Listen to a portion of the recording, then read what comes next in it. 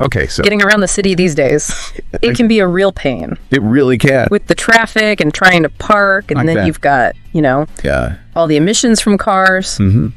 Makes you wonder if there's a better way. Right. Today we're diving into this company, Karbike. Okay. They're a French startup. And they're trying to completely like reimagine urban transport. basically by blending electric bike and microcar technology. What I find interesting about them is, I mean, we talk about a lot of companies that are, hmm. you know, they want to completely replace cars, right? Right. This is interesting. They're not trying to replace cars. They're addressing a very specific need in the market. that space between bikes and cars.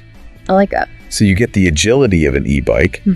but you get that added stability and protection of a car. Yeah, they're not afraid to try something new, which I really appreciate. And when I was looking at the articles and videos about them, They have some really cool features. Yeah. They've got four wheels, so you get that stability. Mm-hmm. Two seats for those times you need to carpool. and because weather happens, They've got headlights, a windshield, and even a full body Right. to protect you from the elements. it's like they took everything we love about e-bikes and just gave it an upgrade. Totally. Yeah. And that hybrid approach, I think, is really what makes them stand out. Because you still get the pedal power, Right. but it's assisted by a 250 watt electric motor. Which is pretty significant. That's a lot for an e bike. yeah, that's on the higher end for sure. Yeah. But then you add in those safety features Yeah. like lockable doors and an alarm system. I think that's really what sets it apart. It's funny you should mention that. Okay. Because I've definitely had those moments on an e-bike where I almost wiped out. Like I hit some gravel or something. Oh, wait. We're trying to lock it up and it's just not secure. Yeah. This seems so much more. Practical. Yeah. And get this, they even have like a retractable roof and windows. Oh, really? So if it's a nice day, you can put the dock down. Feel the wind in your hair. I like it. It's like a convertible. That's a good point you bring up about the safety though. Mm-hmm. Because one of the articles I read, It said that 75% of cycling accidents wow. occur because of a loss of balance. Yeah. So when you add those two extra wheels and a more robust chassis, I mean, I Yeah. think Karbike could be a real game changer. Totally. Okay. So it's safe, It's eco-friendly. but how does it actually perform? I mean, can it handle like hills and rush hour traffic? From the videos I've seen, this thing looks like it can move. It's got a top speed of 25 kph, Oh, which is pretty standard, but it's the range. That's impressive. And what are they doing to get that kind of range? Well, they've got regenerative braking Okay, hold on. for those of us who aren't car people. What is regenerative braking? It's really cool, actually. So basically, when you hit the brakes, Instead of that energy being lost as heat, it captures it okay, and uses it to recharge the battery. so you're getting more mileage. Exactly. Yeah. Especially in the city where you're stopping and starting all the time. Makes sense. Yeah. And Karbike says that if you use this right It can really extend the range. significantly, Wow. yeah. And then on top of all that, they're thinking about adding solar panels as an option. Right. I mean, how cool is that? That would be incredible. Just driving around soaking up the sun. Empowering your ride. Talk about sustainability. I know, right? Yeah. It's like they thought of everything. And they're not stopping there. They have all these different models planned. Like what? Well, they're working on a single seater. For deliveries? Oh, that's smart. I know. And then a family friendly version. They can fit two kids. Wow. They really are trying to appeal to everyone. Yeah. That's a good strategy. There's always a but, right? Use your This is still just a prototype. Ah, They're looking for funding to actually start mass production. of course.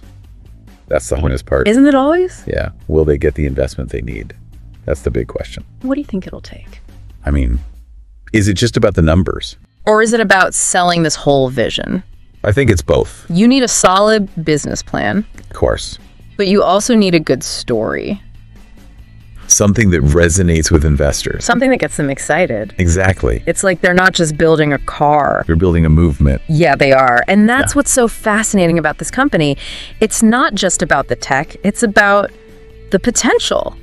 Speaking of potential, Let's get into the nitty gritty. like how much space does this thing actually have? What about the battery life? We've got all those details and more coming up. After a quick break.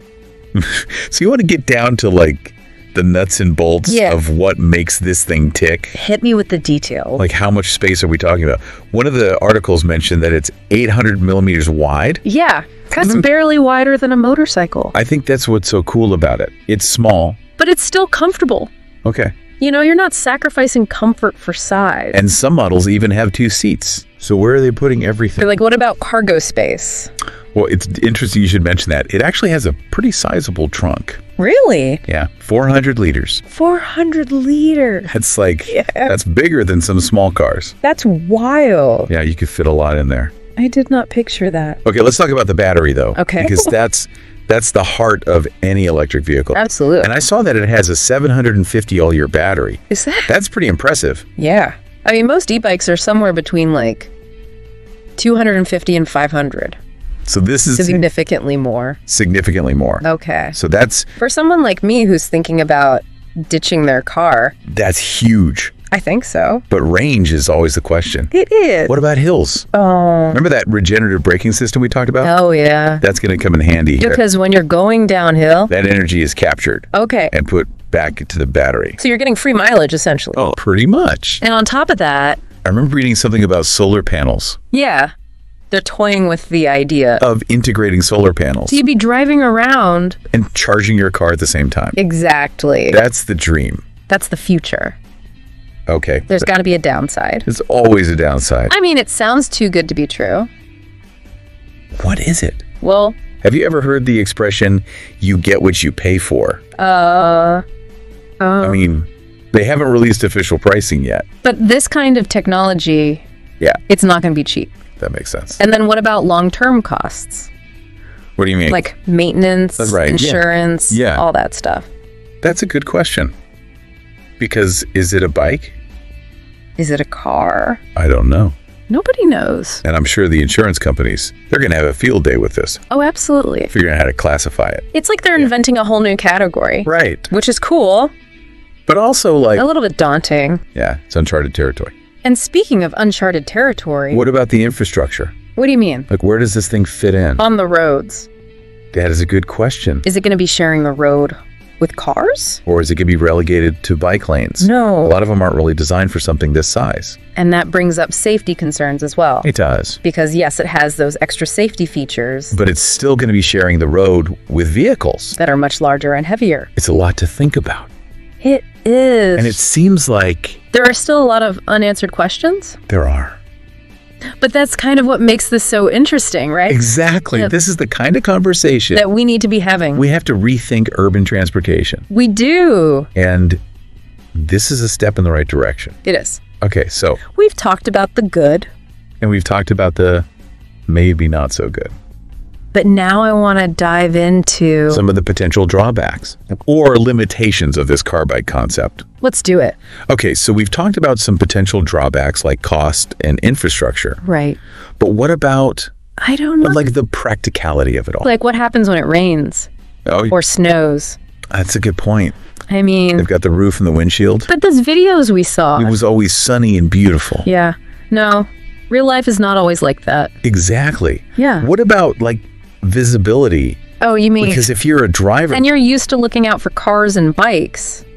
right? Is this thing going to catch you off guard? yeah, it's it's new, so it'll take some getting used to. For everyone. Yeah, for sure. I mean, imagine. You're trying to make a left turn, yeah.